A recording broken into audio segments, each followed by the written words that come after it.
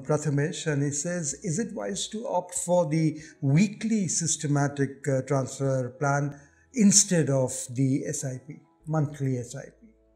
Uh, if you wish so, so it's fine.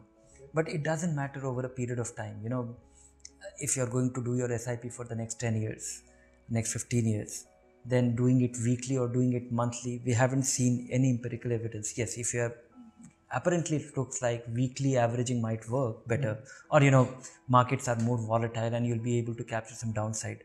But the real story is that as you accumulate the market has to really go up over a period of time. Uh, being methodical being systematic i think that's quite valuable.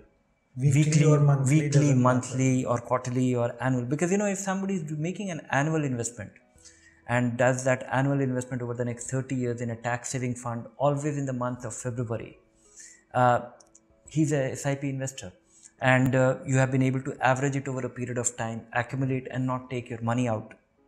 So uh, it doesn't matter if you feel happy and if you think that you know you will stick to your SIP schedule with a weekly one, go ahead.